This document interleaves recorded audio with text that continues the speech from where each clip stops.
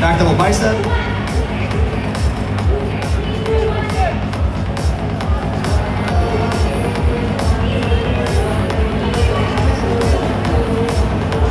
Quarter turn to the right.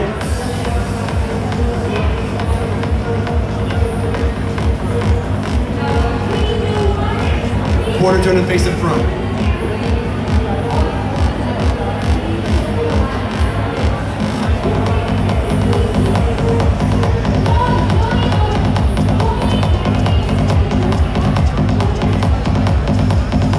Gentlemen, go to the diagonal for me.